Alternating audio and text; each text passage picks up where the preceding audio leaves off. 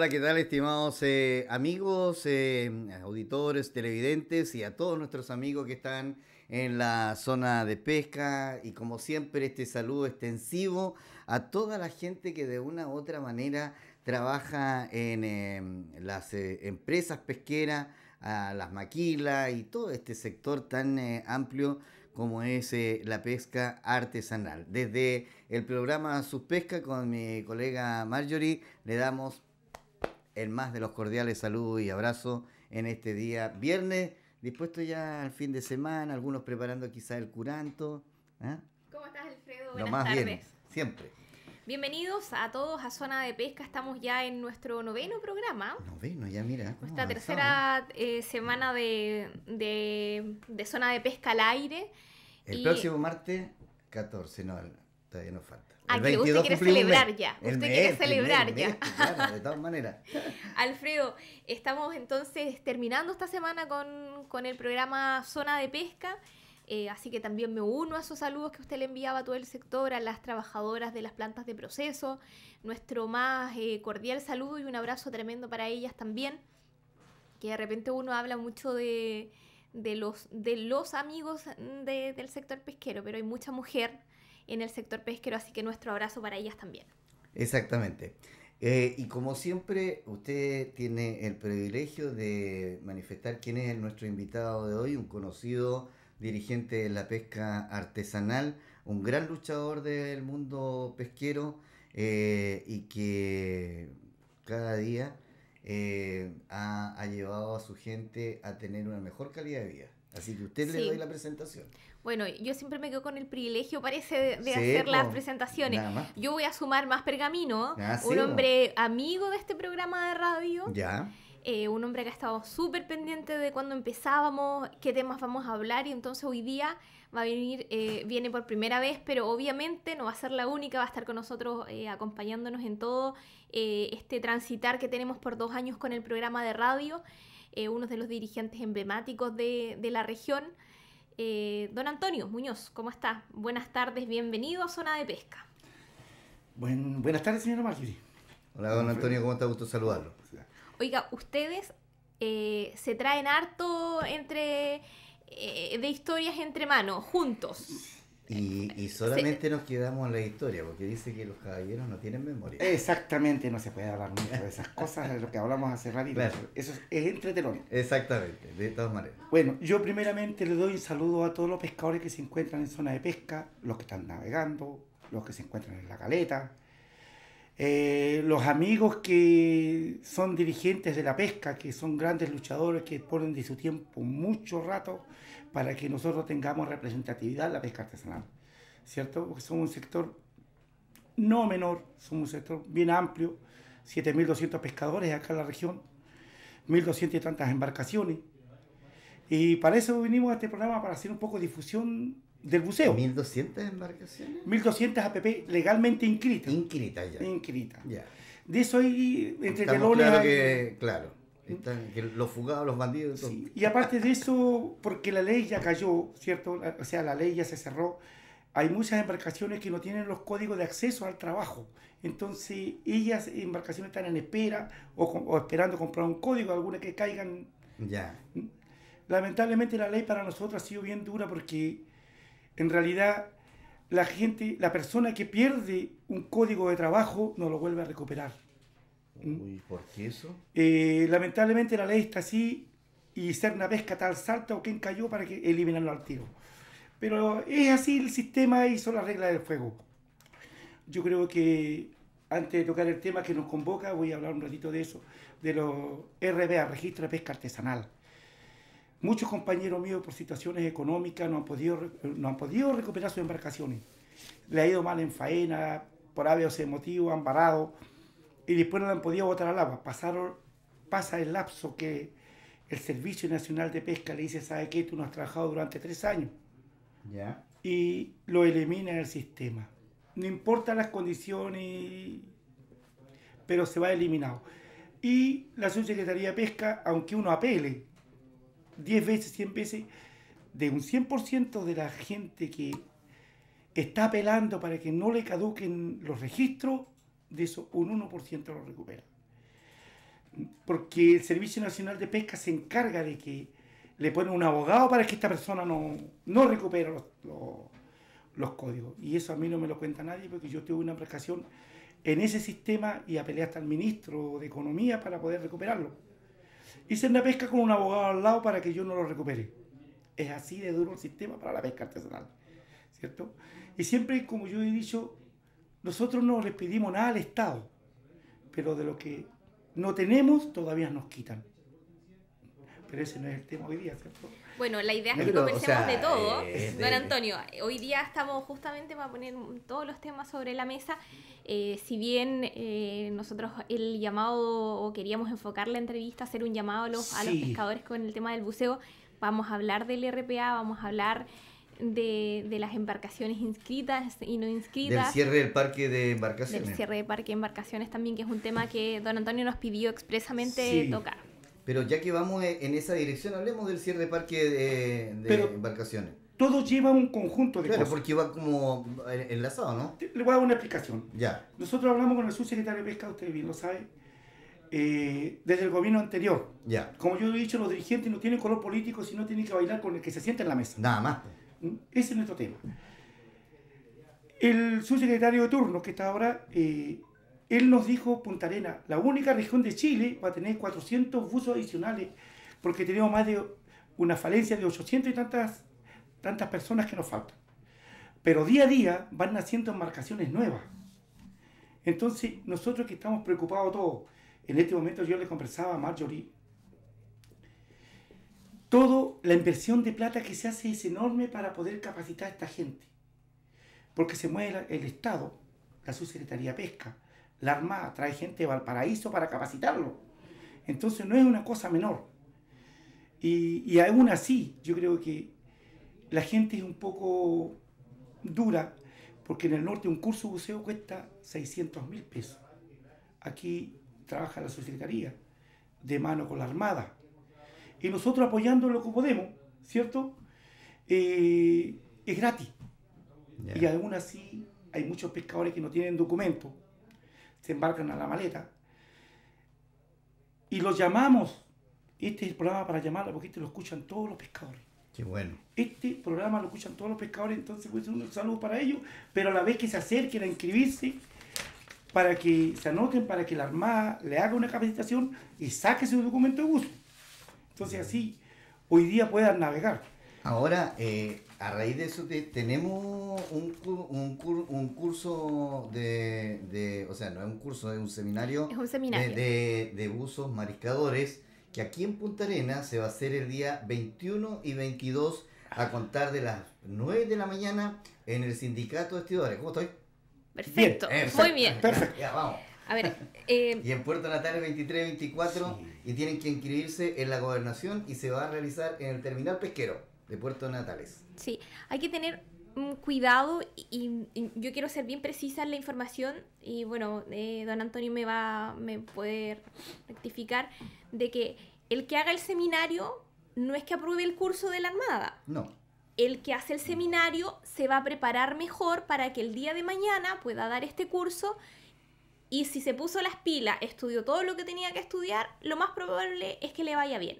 ¿Así es, don Antonio? Efectivamente. Perfecto. Resulta que aquí noso- nosotros primero aprendimos a trabajar Claro. y después Primero, ahora queremos primero aprender a la práctica. Sí, hacemos la práctica. Es lo mismo que usted cuando aprende a manejar, primero aprende a manejar y después va a dar el Es examen. como dice, yo, la gran mayoría de los pescadores artesanales, ¿sabes?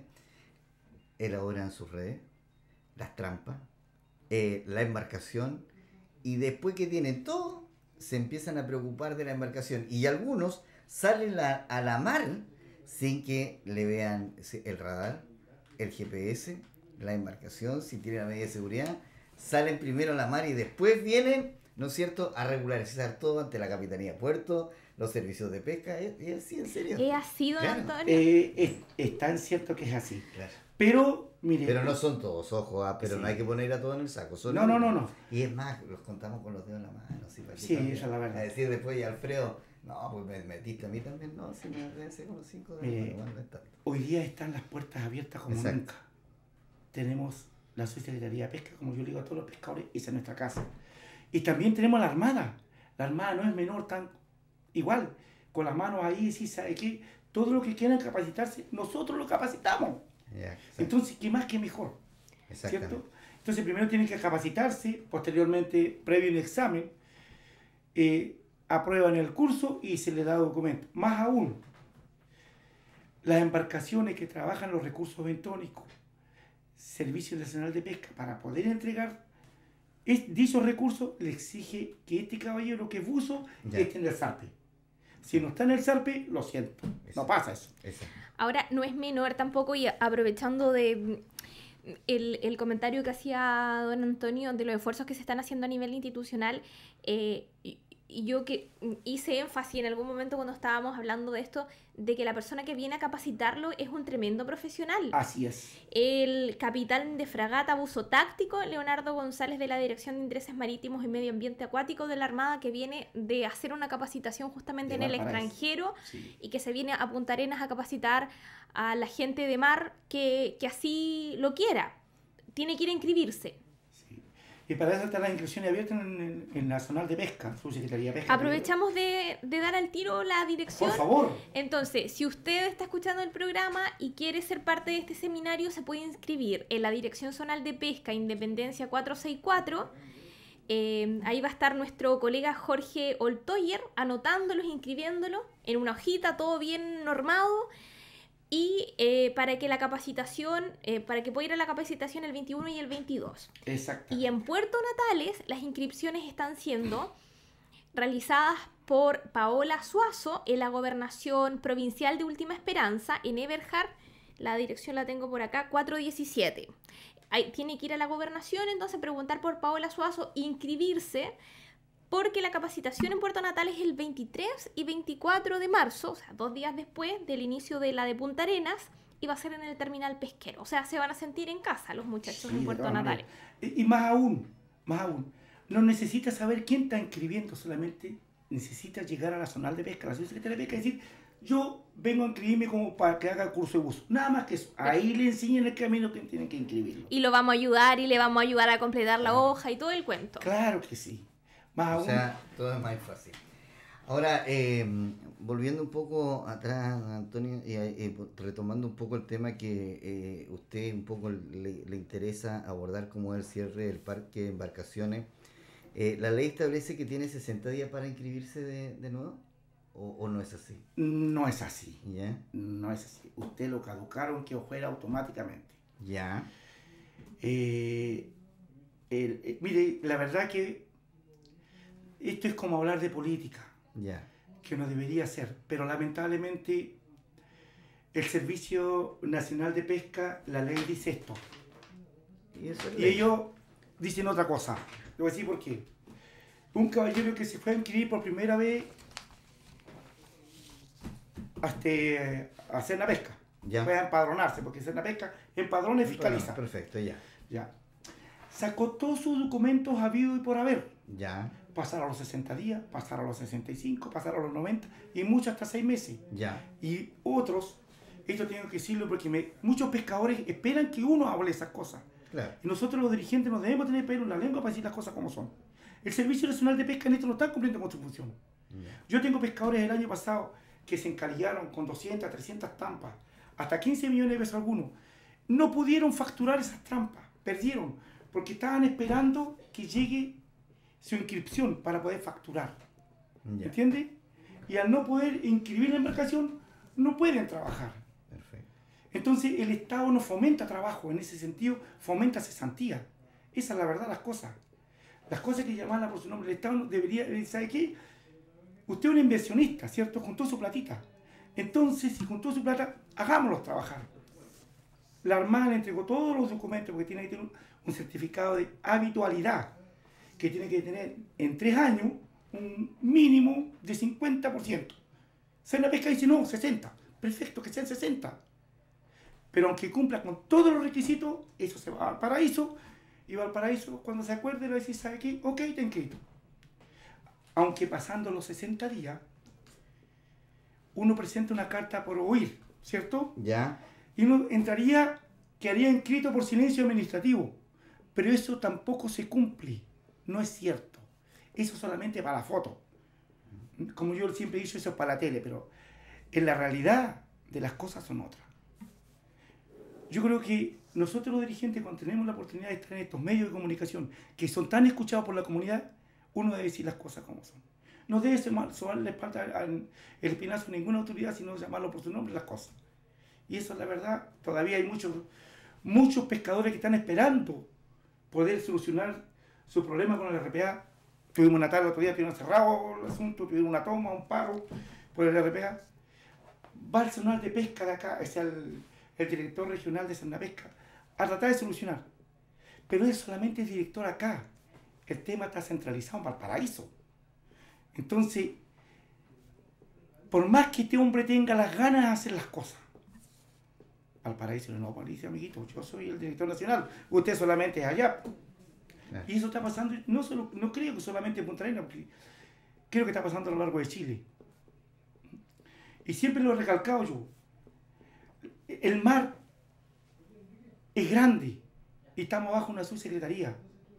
El mar debería tener un ministerio del mar, no una subsecretaría. Porque en una, en una subsecretaría hasta las lucas son pocas, un ministerio ya es diferente. Y nosotros siempre hemos caído eso y el Estado Ahora, ha mirado muy en Sí, menos. Ahora, eh, eh, eh, me parece muy justo lo que tú, tú planteas, Antonio, pero yo creo, Antonio, que, y Mario, déjame, yo creo que lo mejor es que eh, los dirigentes, en el caso, así como tú, tienen que comenzar a, a dialogar con la autoridad, a poder tratar de unificar algunos acuerdos, independiente que yo sé eh, un, un poco la, la- la- la problemática. Este tema, por ejemplo, de especialización de buceo, ayudan. Sí. Ayudan mucho a que las mucho. cosas se vayan, ¿no es cierto?, mejorando en el sector pesquero. ¿No es así, Marioni? Bueno, Esto es grande, es enorme. Yo creo que para un pescador que no tenga documento esto no, no es una cosa menor. Claro. Es un título. Exacto.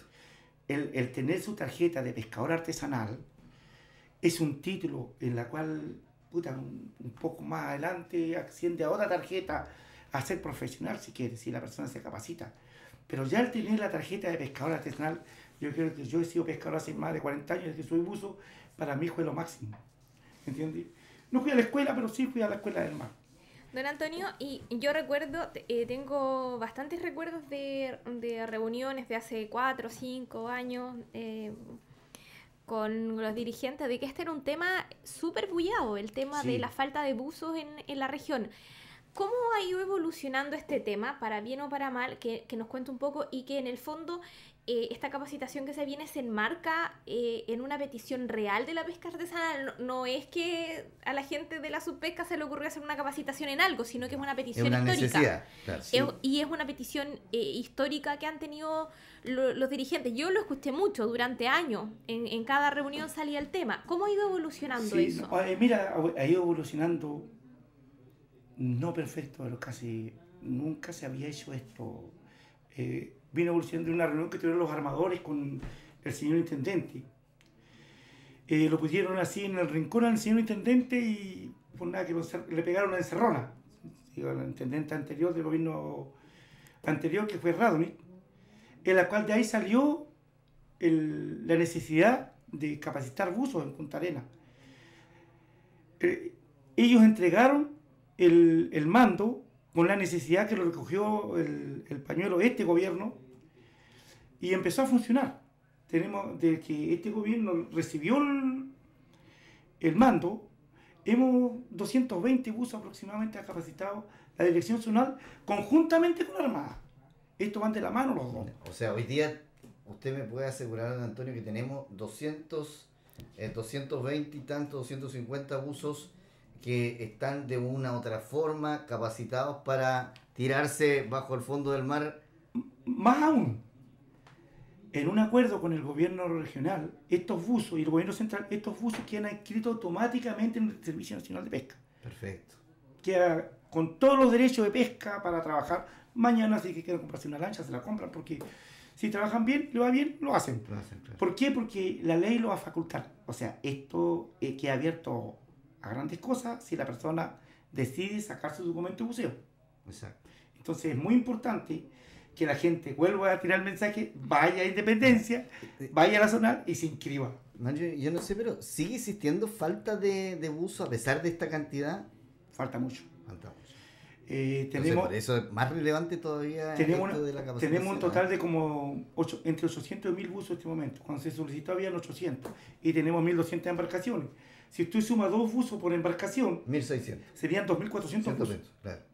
Entonces estamos siempre necesitando. Entonces, yo en este momento, yo parto el 15 a Paraíso a tener una reunión con algunos eh, diputados, tanto de derecha como de izquierda o del lado de costado, no sé de dónde son, pero para eh, eh, poner unas objeciones o un, no sé, un avance en la, en, la, en la ley de pesca para que este registro pesquero de los buzos quede abierto. No así de las embarcaciones, los buzos porque lo que necesitamos es mano de obra. Mano de obra. Tenemos la- la- las embarcaciones ya. Por eso se hablaba mucho del cierre de embarcaciones. Ya. ¿Mm? Eso. Perfecto, no es menor. ¿ah? O sea, una vez se dice, claro, vamos a un seminario. Otro seminario más común y de eso. Pero tomando en cuenta la relevancia que hay y la falta, porque 220 buzos capacitados y registrados eh, no alcanza ni a la cuarta parte de lo que se necesita. Imagínate, se necesitan 2.400 buzos para poder cubrir las plazas de las embarcaciones que hoy día normalmente operan en la jurisdicción de la tercera zona naval, porque eso es. po. Eso es. Eso es en el fondo la, es la del territorio marítimo.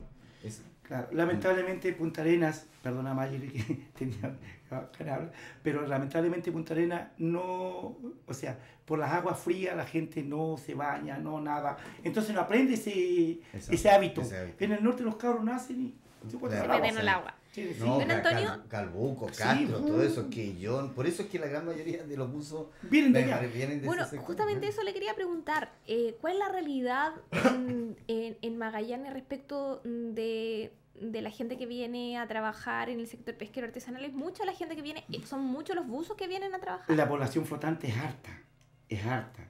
Lamentablemente, por nuestra misma ley, esa gente puede venir a trabajar porque si se borra tiene que esperar tres años.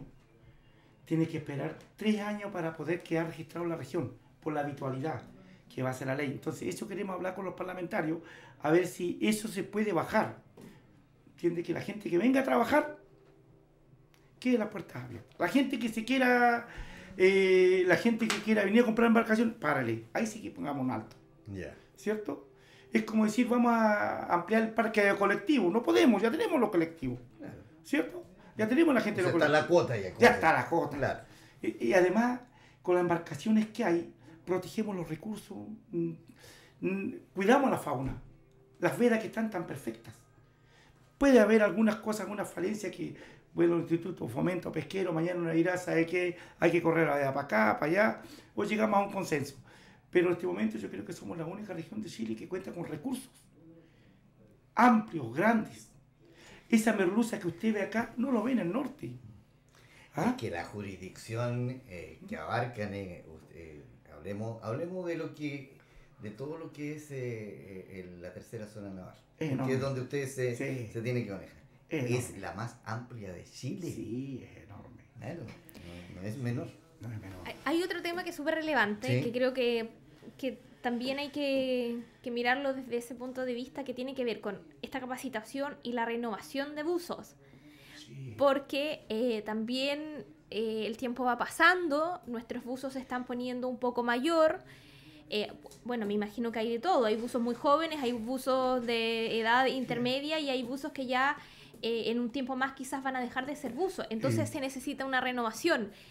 Y lo otro es que también me imagino que, o, por lo menos así lo veo yo, de que eh, este tipo de, mm, de seminario, que todos sabemos eh, cuál es la idea, que, la, que se fortalezca el sector pesquero, también es una forma eh, de que este sector tome fuerza y no vaya desapareciendo de a poco, sino que vaya tomando cada vez más fuerza y no al revés.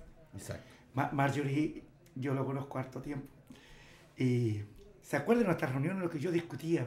Ese tiempo en las reuniones con Mares Chile, se hablaba de cerrar el parque de buzos. Y yo alegaba que era un error. Porque yo ese tiempo ya tenía como 45 años, hoy día tengo 60. Y mañana voy a tener 70. Entonces debe haber una renovación de gente. Porque nosotros envejecemos. El armador renueva la embarcación. Nosotros envejecemos. Entonces, yo ayer tuve 40, y qué los 40. Hoy día tengo 60. Y ya ahí se terminó el trabajo. Entonces, tiene que haber una renovación. Entonces, que la ley no vio eso. Y nosotros, como dirigentes, tuvimos poca visión. Porque, lamentablemente, para esta región, fuimos nosotros los pescadores los que pedimos el cierre del parque de buzos por nuestra propia boquita, aunque yo no estaba de acuerdo, pero en una mesa democrática se subió, se sumó la mayoría, claro. Sea o no mi voto en contra, estoy en el montón, entonces... Y si se equivocan, por lo menos usted va a decir, yo lo dije. Uno tiene que ser reconocer sus errores. y en esa reunión que tuvimos en el sí, yo me enojé mucho porque si los mismos armadores que pidieron el cierre de este recurso estaban pidiendo que se haga el registro. Entonces es feo, es feo un dirigente con, los pies bien puestos en la tierra, borrar con el codo lo que ayer firmó con la mano. Exacto. Entonces uno debe reconocer su error, llamar a los parlamentarios que están en la Comisión de Pesca, ¿sabe qué? Señor, tenemos este problema. Nosotros en Punta Arenas necesitamos buzos para, para nuestros eh, armadores. Yo no tengo embarcación, pero soy dirigente de los buzos hace muchos años. En esta región hace más de 22 años, 23 años y fui reelecto no hace poquitos días por la mayoría absoluta de mis socios. Agradecido por televisión a todos mis compañeros que me dieron el voto. Pero Oiga. El, recambio hace bien, desde que lo conozco y ustedes... Oiga, vamos a aprovechar, sí, vamos a aprovechar estas palabras con las que se, con las que está saludando don Antonio a la gente de su sindicato para, para despedirlo, don Antonio, pero eh, como yo siempre le digo a los entrevistados, eh, un hasta luego nomás, porque en un par de semanas ya lo vamos a tener de vuelta seguramente a don Antonio y a otros lo dirigentes. Lo vamos a invitar para que venga a hablar de los que no alcanzó a hablar de los eh, lo traía en su pautita porque faltan, hablar de los Faltan cosas importantes, ya. antes que me, me, corten. Primero, el 15 se levanta la veda del erizo, ya. ¿cierto? Sí. Ahí vamos a necesitar buzos, ahí recién la autoridad va a decir, chuta, ahora, ¿cómo suprimos la gente? Estamos muy faltos de gente. Y aquí, lamentablemente, no tenemos, no fabricamos pescadores, vienen del norte. Deberíamos tener un poquito y si sabe qué, hagamos una mano blanca para esta gente, que le falta gente, deja su lancha amarrar en el muelle, no pueden salir a trabajar por falta de gente. Eso es una. Yo lamento mucho que me quieran echar para afuera porque tengo, traje tantas cosas que decir. Este, este, y la pesca artesanal. ¿Sabe qué? tenemos don Antonio, tenemos dos años. dos años para conversar De todas maneras, la pesca artesanal tiene tantas cosas que decir, tiene tantos problemas que yo creo que, yo como decía Marjorie, van a ser tan cortitos los tiempos, ¿cierto? Más este una radio tan escuchada por todos los pescadores, con sus mexicanos y todo a la pesca, ¿cierto? Y yo creo que el gobierno debe poner un poco más de luquita para ampliar el, el espacio televisivo para decir las cosas. Don Antonio, pero, pero, pero, más allá de las bromas, eh, lo que pasa es que eh, vamos a hacer, yo creo que eh, por lo menos una vez al mes vamos a, vamos a invitarlo porque es verdad que tenemos mucho tema eh, a, conversar y vamos a tener que ser más ordenados también y centrarnos en un tema a la vez porque o si no eh, se, nos, se nos viene, don Antonio nos va a venir a desordenar el, el, estudio. yo doy las gracias, ¿sabes por qué? de todas maneras le paso un aviso, sé que están todos mirando la televisión, al menos mis socios y mi sindicato. Eh, la Nacional de Pesca le va a regalar a todos. Esa es su cámara. Ya, un instructivo para que le den su examen de buzo. Ah, acá está. Un instructivo. Tan parecido a este, para que todos aprendan a bucear. Y yo sé que a todos los pescadores les falta la teoría. Estamos falta de varias, de varias tarjetas para que puedan la gente salir a navegar. Y ahora parten el 15. Y yo lamento por la gente que se queda ahí amarrar en el muelle por falta de gente, por falta de personal, por falta de buzos. Tienen, tienen los pescadores, tienen los asistentes, pero les falta uso. Yo lamento a esa gente porque con cuánto esfuerzo preparan su lancha para salir a navegar, para poder ganar los lucas. Este año es un año duro. Está difícil la plata en Chile. Entonces, yo lo lamento por eso. Y lamento no haber partido antes con el curso buceo para que esta gente esté lista ya. ¿Mm? Pero nunca es tarde. Nunca es tarde, si tenemos altas exigencias que la Armada nos hace pero son todas bien recibidas porque el Armada no pide más de lo que no debe pedir. Muy bien, don Antonio, muchas gracias y eh, nos vamos a la música, luego volvemos al meteo, Alfredo. ¿Sí? Listo, estamos.